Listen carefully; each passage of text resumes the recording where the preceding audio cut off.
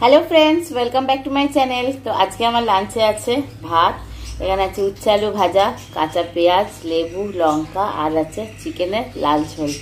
চলো খাওয়া শুরু করছি।